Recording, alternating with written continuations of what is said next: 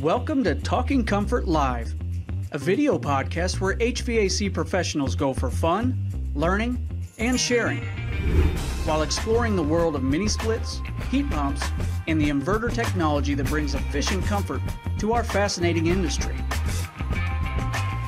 We're looking for you to be a part of the show.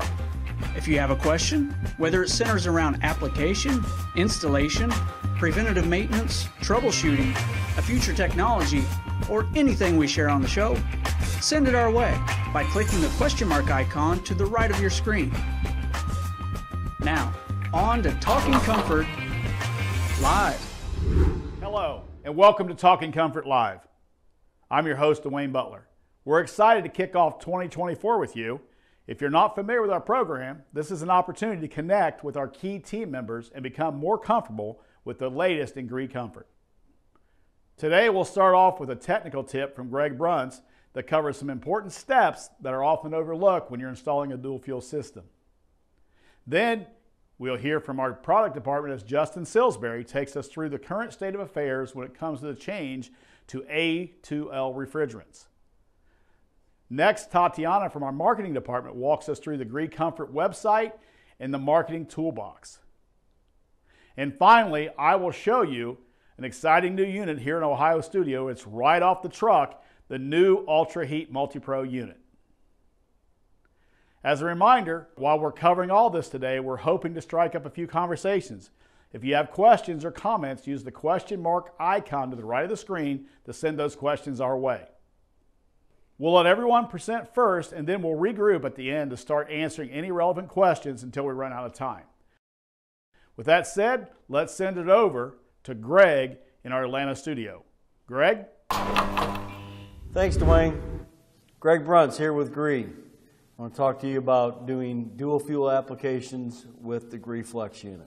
So with that, let's jump right into it and talk about the requirements and the installation of a Flex unit in a dual fuel application. So first of all, you're going to need a two heat, one cool, dual fuel capable thermostat. That dual fuel capable thermostat can be with or without an outdoor temperature sensor. It also can be a dual fuel capable thermostat with or without Wi-Fi. Thing is though, if it has Wi-Fi, it will use the temperature from the local uh, weather app to determine what the outdoor temperature is. That allows you, either with an outdoor temperature sensor or with the weather app, to be able to go into that thermostat and say, whatever temperature you decide, that the gas furnace will take over and do all the heating. It's not required, because with the dual fuel capable thermostat, the way they work is the first stage is going to do your heat pump heating, your second stage is going to be your gas heat. That's the key to dual fuel. The dual fuel thermostat is not going to let the heat pump and the gas furnace run at the same time.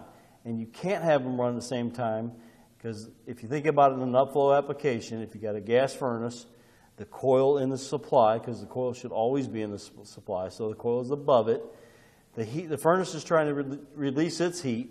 The heat pump is trying to release its heat, and they can't both release their heat at the same time like that and then therefore the heat pump gets really aggravated and probably be out on high pressure in doing that. So that's why I have to make sure only one or the other is running. So, all right, so now you know the requirements. Let's jump right into doing the wiring on it. So I have a wiring diagram here to kind of go through. So first of all, your Y connection, I'm showing it at the furnace with a splice. But again, that's going to determine what furnace you're using because some furnaces do have a Y1 and they may even have a YY2. And then what I've also know about gas furnaces is when you get G in there, especially if you've got an ECM blower or a variable speed blower, that thing is only going to run at 50% of the blower speed, and that's not going to be fast enough for that heat pump application. So if you have a Y1 and a Y2, you need to look at the furnace instructions to get the right CFM and determine whether the Y from the thermostat needs to land on Y1 or Y2 to get the proper blower speed for heat pump, heating, or cooling mode. So secondly, you're probably not going to have a B terminal in here. So your B terminal is for reversing valve. So it's just going to get spliced at the furnace, and then you need to go into the thermostat. If you have an OB terminal, make sure you set that up to energize the reversing valve during heat mode because the GreeFlex unit is the reversing valve is energized in heat pump heating mode, not in cooling mode like a lot of other manufacturers do. And then as far as auxiliary heat goes, your furnace may have a W, it may have a W1, and it may have a W2. All depends on the furnace. So in this application, we're just showing this is a single stage furnace. So you would use W2 or auxiliary, depending on the thermostat. It's going to be one or the other. And that's going to be your second stage heating to bring on the gas furnace. But in dual fuel application, it will not send power out on wide, therefore the heat pump won't be running. Now, if you have a two-stage furnace and you have a W1 and a W2, then your thermostat, you would need a three heat, and it would be W3 or auxiliary, and then that would go to your W2 in order to get your two-stage furnace working properly. Some of them also have auto stage, and you can set it up that way. Again, refer back to your furnace installation instructions, and that'll help you determine what you need to do there. The rest of the connections are pretty basic. It's R to R to R, just like any other heat pump or air conditioning setup. Same with common all the way through, and your G for your blower for fan on. And then lastly, optional float switch. It can be put in between the thermostat and the furnace or in between the furnace and the outdoor unit. We just want to make sure you understand you have to break Y going to that flex unit in order to get the thing to shut down. Because if you break R going out to this flex unit, it will not shut the unit down. R is out there for one reason and one reason only with the flex unit, and that is for the relay to be able to send the 24 volts back during defrost. So let's talk about defrost for a second. So let's say we go into defrost and we get a W1 signal from the flex outdoor unit and it engages the gas furnace, which is perfectly fine because at that point the heat pump is going to be running in cooling mode with the outdoor fan off. The air conditioning coil will be absorbing heat, so all it's going to do is aid in defrost. It's not going to hurt anything. But I want you to keep in mind with the flex outdoor unit, the defrost cycles are rather short, usually only about two minutes, and the chances of that furnace getting through its initial startup sequence to actually light that furnace, the flex outdoor heat pump is probably going to be back in heat pump heating mode by the time the furnace ever lit. So you may or may not want to connect that up, and I'm going to leave that up to you guys out in the field to determine what you want to do with that. So lastly, what we need to talk about in dual fuel applications is you should put a transition fitting between that furnace and that coil just because we want to make sure we're not going to have any issues with the drain pan and that we get good flow from the furnace through the entire evaporator coil, especially if the furnace is larger or smaller than the evaporator coil. We need a proper transition fitting to force all the air from that furnace through both slabs of that A coil so we get proper airflow through the A coil during heat pump heating mode and in air conditioning mode. And we're not restricting the airflow on the furnace so we don't end up having the furnace cycling on limit. So with that said, hope this all helps you out. And with Gree, remember, we're always by your side. All right. Thank you, Greg, for breaking down that information as you did. I know that's going to help a lot of people out in the field installing our products. Okay, now Justin, another topic that people are asking for a lot of help with is the industry change to A2L refrigerants. Let's go back to Atlanta and hear about Gree's status with that refrigerant change. Justin? Thanks, Duane. So today I want to talk about the upcoming refrigerant change. So if you haven't heard, the United States signed a few global climate treaties such as the Kyoto Treaty and the, up, the following Kigali Amendment, and that put a limitation on our greenhouse gas emissions. And how that affects our industry is that we now have an upcoming refrigerant change to low GWP or low global warming potential refrigerants. Uh, this new program is also better known as the EPA's Technologies Transition Program. So what does that mean for us? So in January 1st, 2025, all ductless, flex, package products, and our multi-pro will have to change over to a new low GWP refrigerant. Our three-phase VRF systems won't be changing over until January 1st, 2026, so one year later. How we'll be handling that is Gree has decided to go to R32. Why did we choose R32? Well, obviously, R32 has a low global warming potential. It's below the 700 threshold that has been set by the EPA. R32 is also shown to have more capacity than 410A and more efficiency. So we'll have better performing units out there. R32 also doesn't contain any of those dangerous fluorine forever chemicals like some of the other refrigerants out there. So it's going to be less toxic, healthier for you to handle. R32 also doesn't have a patent on it. So that should make it more readily available and less expensive than some of the other competing refrigerants out there. Also, R32 has been used successfully around the globe safely with no problems, no big issues. However, what you have to know is most of these new low GWP refrigerants are known as A2L refrigerants. The A means it's low toxicity. If you see a B in that position, it means it is toxic. The 2 is more likely the, the sticking point for most people. Uh, the 2 means it is slightly flammable. So all of these new refrigerants coming out will most likely be flammable. That's going to require safety changes to the equipment, such as uh, indoor sensors that detect refrigerant leaks and shut the unit off to prevent any kind of uh, fire or anything like that. That will also change the inventory strategy for most of the distributors. So we'll have all new equipment coming out next year in 2024, gearing up for that 2025 changeover. And we also have to note that all of the R32 equipment coming out is not backwards compatible to the old 410A equipment. New refrigerant, new compressors, and because of the safety requirements, you can't take uh, R410A ductless head and put it on an R32 outdoor unit. It won't work and it's unsafe. So with that, contractors will have to undergo additional training on the refrigerant, how to handle it, how to install it, and how to service systems that utilize these new A2L refrigerants. That's also going to require new tools, new gauges, uh, new recovery tanks, things like that. So what we need everyone to understand is this problem is not going to go away. You have to embrace it. It's going to be the law. I know we're all bemoaning it. We're all kind of unsure what's going to happen with this changeover. Uh, you've already lived through the last two probably. We went from R12 to R22, and then R22 to R410A, and it was a major pain, uh, but it never went away. You either had to embrace it and move forward, or, or you just probably didn't do business anymore. So what you need to understand is that there will be winners, the people who embrace this technology, move forward with it full steam ahead, and there will be losers. This presents a great opportunity for your businesses out there if you embrace it and you train on it and you understand it. As more information becomes available, we will be publishing resources in 2024 to help guide you through this change. We'll be updating our training presentations.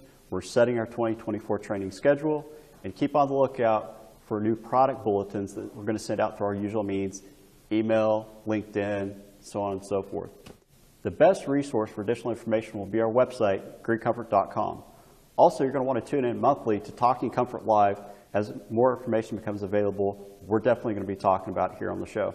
So if you have any specific questions, please feel free to reach out or your local rep. Thanks. Back to you, Duane. Thanks, Justin. I'm sure we'll have more updates to share in the upcoming shows about the changeover to A2L refrigerants. So, Tatiana, take us through what everybody here at GREE already knows is a very valuable resource, our website. One of the best resources for information in our industry. Tatiana? Thanks, Duane, and hello to our GREE partners and contractors out there. Based on many requests, we thought it would be helpful to give you a quick rundown on GREE Comfort's latest cool features. All the support you need is just one click away, whether you're a contractor or a distributor. For you contractors out there to quickly access all the information most important to you, click on the contractor button on the homepage or go to the contractor drop down menu on the top navigation bar. There you'll find on the go tech support.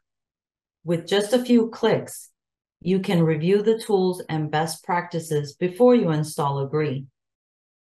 With some quick tip training videos and troubleshoot any error code with step-by-step instructions. Or access the System Builder app to help you build the right GREE system for your customer. Documentation. Need a submittal or a sales brochure? Go to the system documentation and you will find everything you need in one place. Parts. Go to the parts lookup page to search for the exact part you will need for a GREE product. In our rebate section, simply type in the zip code in your area and all the latest rebates appear by product model. Finally, don't forget to sign up for a GREE Select dealer and register your latest projects for the 10 year warranty. All this can be done from the same drop down menu. And for you distributors watching, let's walk you through how you'll access the latest tools to help you sell more GREE. Start by clicking on distributor button on the home page or go to the distributor drop down menu on the top navigation bar. There you will find a form to request a GREE training class for your customers and or your employees. A GREE system builder app to navigate our many product options. A live feed tool to search all available rebates in your customer's zip codes. A section for warranty to look up and registration. A GREE part lookup page is also available here to search the exact part you will need for any GREE product. A simple online form to claim damaged freight. Another simple form to submit your marketing co-op expenses. And of course, access to all our product documentation and literature. And don't forget to check out the other sections as well, because the website has so much to offer our homeowners. I'd also like to leave you with another really good resource that you might not even know about. It's our GREE Marketing Toolbox, available at greecomfort.com slash marketing dash toolbox. After you go to the web address, you'll need to enter the password, GREE Marketing. Here you will find brand content, like variations of the GREE logo, product logos, equipment photos, and our color palette. It will be important that you first review the brand guidelines PDF at the top of the page.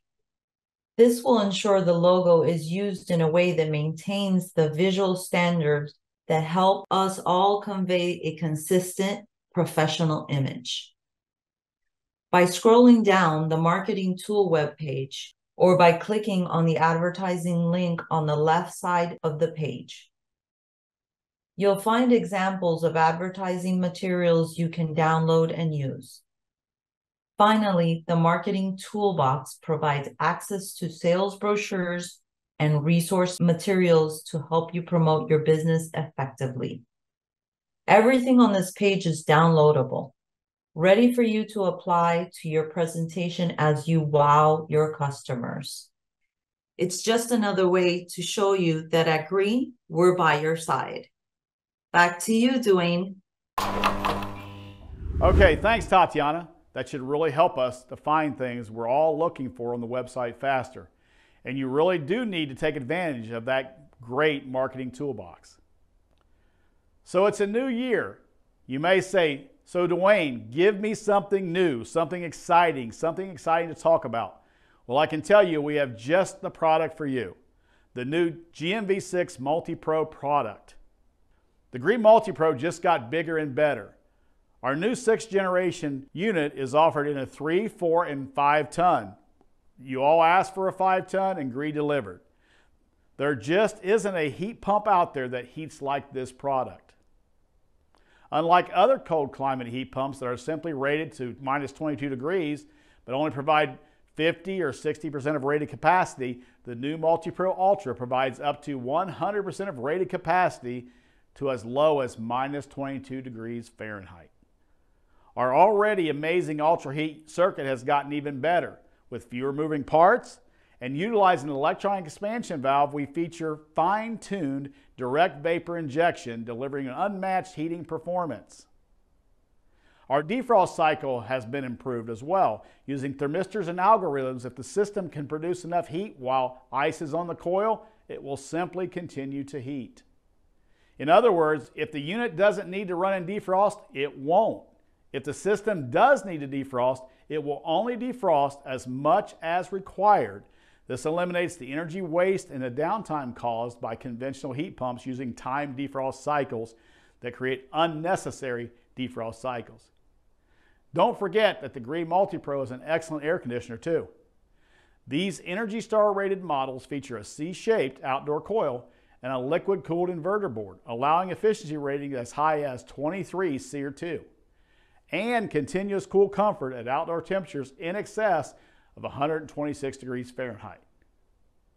Some of the key points of the Gree MultiPro are three models, 36, 48, and the additional 60. All models are Energy Star.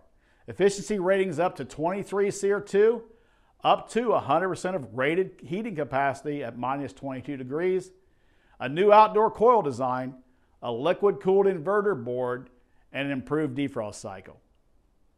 So that's what I have for you today. It's time for us to answer some of your questions. So as a reminder, click that question mark icon to the right of your screen to submit your questions and comments, and we'll get right to them. What we're going to do now is we're going to run this short video while we start queuing up your questions, and we'll be right back. I'm one of the fortunate people who actually enjoys heating and air. it's definitely a community, you know. It, you know, every every tech gets to sit at the parts counter or something and talk to another tech. And that's my wife. I talk about this kind of stuff like way too much. She says I'm a nerd. You know, the thing is, I mean, like I work with a bunch of nerds. Everybody on our team has done this for a living. Every one of them has been in an attic or under a house. They've not had answers. They've been having to wait on the phone. They're digging through manuals, trying to find those answers. They actually care. They care to get the help that these folks need. That's why they do it. It can be a dream job for folks. I mean, it really can. We've long been a leader in technology in the United States. Inverter driven systems, particularly the communicating inverter driven systems, it's the only way that it can be done cost effectively and efficiently. It really is. To me, by your side means we're doing the next best thing to standing there with you when you're trying to work on a unit. Whether we're on the phone with you or, you know, it's a video or it's the manuals themselves, it's about providing the support that you need in order to fix the equipment that you're working on. It's what we do. It's um, it's an everyday thing. It's an all day thing. I mean, we're all going to be, you know, uh, parents and spouses and, and you know family members and all that kind of stuff. But you know, at the end of the day, when things slow down, we're still thinking about that one unit, you know, that we could never figure out.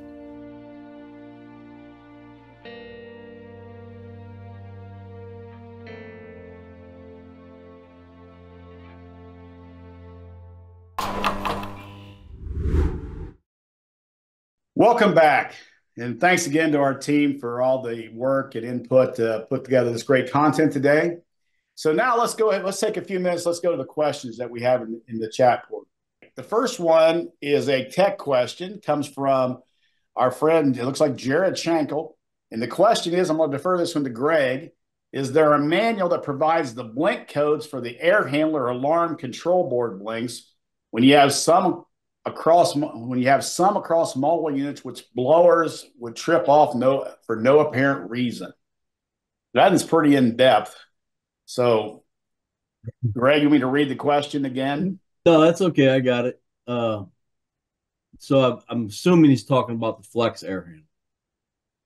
It doesn't really say on the product, but I'm assuming right. that's what it is. I'm assuming that's what he's talking about as well. And I really don't pay a whole lot of attention because really all them lights really do is basically tell you it's in fault. So by if you reset power to the air handler and turn it back on, that blower comes back up and run runs, then it probably went out on on a temp not really a temperature safety, but limiter of the of the ECM motor, and it could very well be because the CFM is not set right that would be the first thing we need to check is make sure the line voltage is correct make sure that the dip switches are set according to the CFM we want, and actually measure the static pressure to make sure we're delivering the amount of air that we need to be delivering, and it's coinciding with the blower chart on that unit. So Okay. uh, there is a bulletin about those. If you do that and all of that is set correctly, the voltage and everything's correct, then and you reset it and the blower does ends up doing it again, then the board's generally not the issue. It's the motor. We're gonna have to replace the motor. All right. So kind of an in-depth answer, uh, Jared. I, I suggest uh, you can take Greg's feedback. If you still don't get the answer, you can go to greecomfort.com. There's a quick start guide on setting up the Flex. If it's not the Flex product, you need additional help. You also find the number for Gree Tech support. I suggest you call into the tech support team and kind of give them more a little more detail. But thank you for the question. Wayne, I do All want right. to comment, comment one more thing on that real quick. So I, I just want to make sure it's clear that we don't want to jump into just replacing the motor because many, many times our tech support team, including myself, has resolved those issues just by making sure that blower was set up pro- properly. Okay. All right. So look at the quick start guide. If you have a question before you change the part, why don't you call our Gree Tech support team? All right. The next question is going to be from Chuck at JSH Mechanical. James, I'm going to direct this question to you. And the question is which is best, an estimated balance point with a switch over to gas, or just let the flex maximum output determine at the point the indoor temperature need would need to change to second stage heat. So I'm, this is a dual fuel application, James. Basically, he's asking how you set the balance point when he should switch from the flex over a unit to the backup heat for the gas. So I, think that you know the answer that I would like to go with is just let the flex run, uh, just let that run, and if um, if um, you know it wasn't able to keep up or something like that, then I would say just you know the the thermostat would automatically select the the gas uh, furnace option.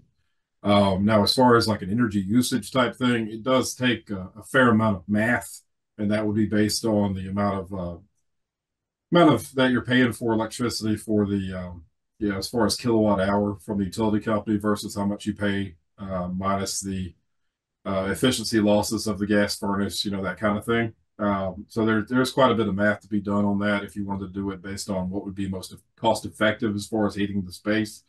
Um, but um, I mean, generally speaking, I would just let the flex do its thing. And, um, you know, once it gets cold enough, if it's not able to keep up, then switch over to gas furnace. Good. Okay. Thank you, James.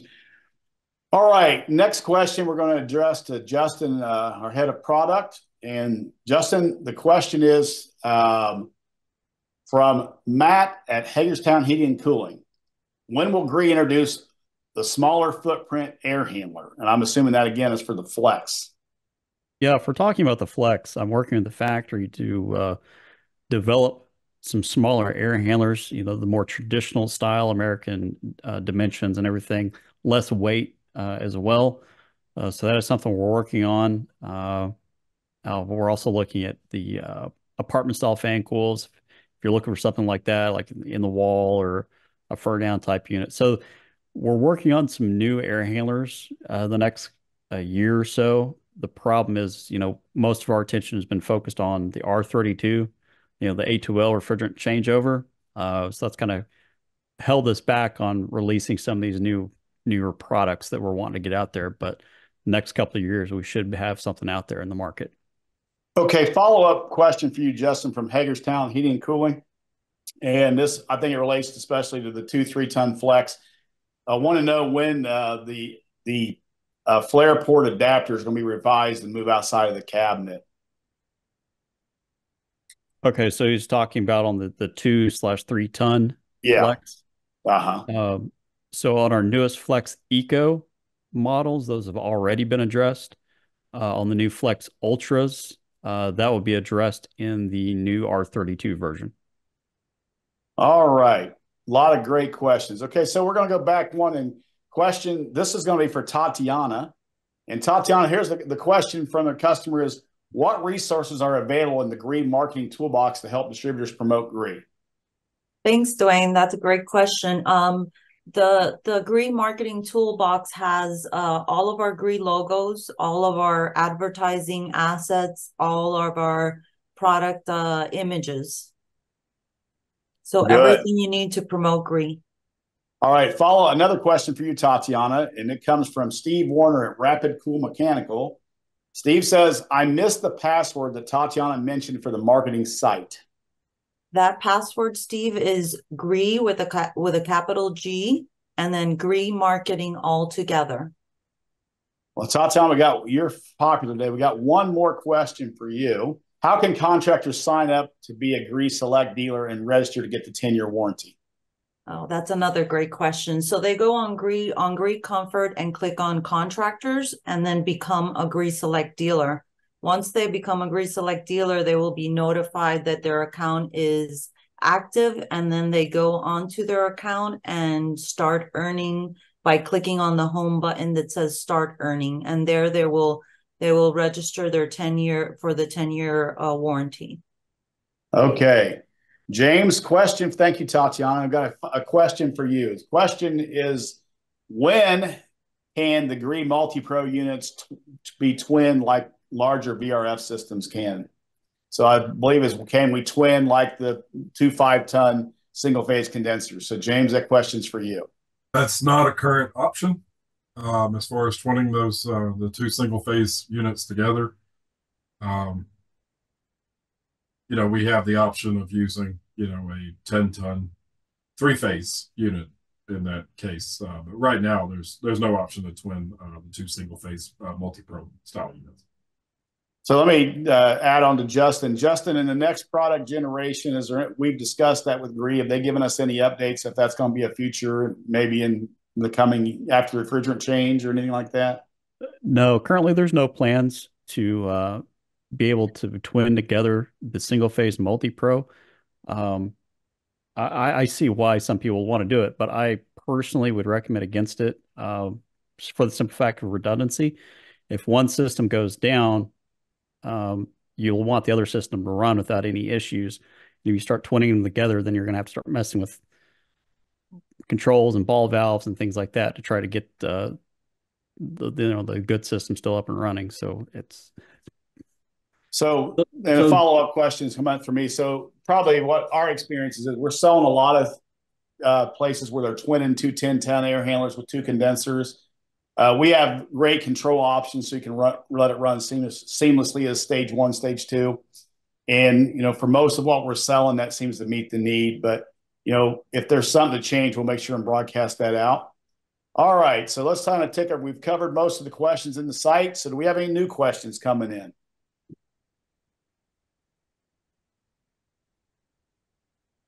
All right. Let's go through them again, make sure I didn't miss any. All right, one question here. This is for Greg. Greg, can you give us an update on the status of the error, to, error code tool for mini splits? Is that up and working on the Gree Comfort site? There's a question on how to how to find the error code tool. So if you go under, if you go into greecomfort.com and you go under the contractor tab, there's an error code troubleshooting tool. Once you click on that, it'll load that error code troubleshooting tool and you can just type in whatever error code you want information on. It is a functional tool. Okay. All right. There's a whole, here comes some new ones. This question is going to be for uh, Justin and product. It's from James Davis at Davis Heating and Air. Can the Flex heat pump be connected to a micro channel indoor coil? We don't recommend it. Uh, we prefer you to stay with the tube and fin coils. All right. Let's see. We have any other questions we mixed? All right. We'll give you one last chance. Anybody wants to submit another question? Otherwise, we're going to get prepared to sign off. Oh, here comes in a new one.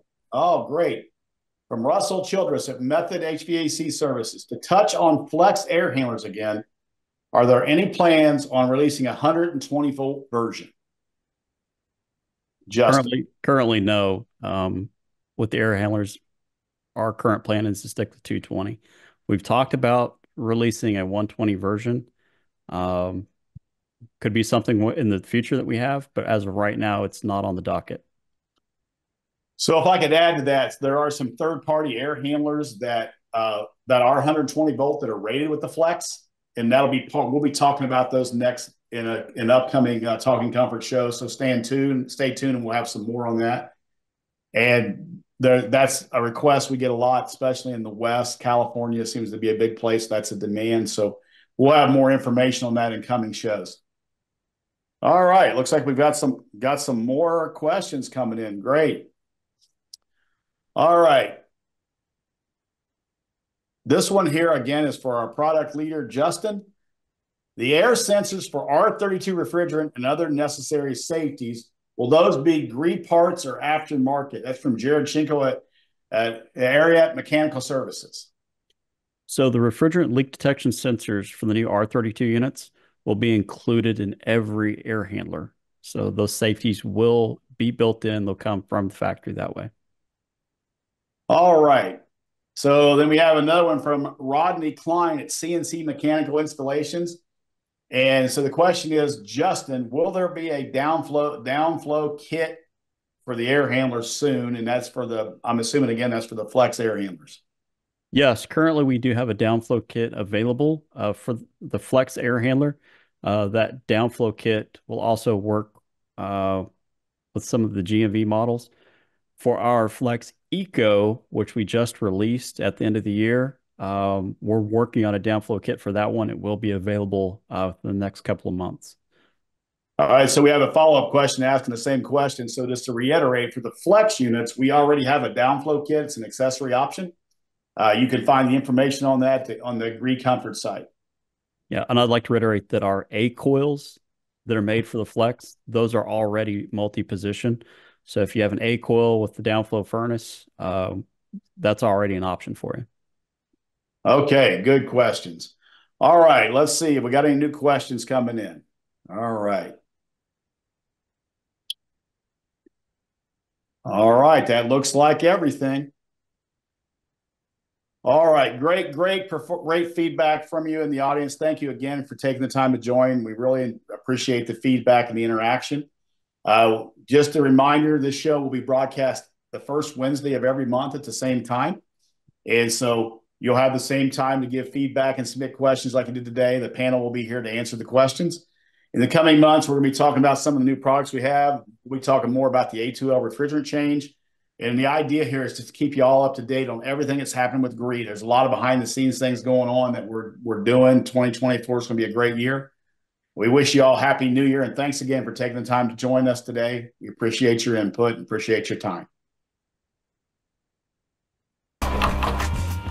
Hey, thanks for watching Talking Comfort Live with GREE HVAC. Make sure to keep a lookout for an invite to our next show or subscribe to our GREE Comfort YouTube channel to make sure you get notified anytime we release new content.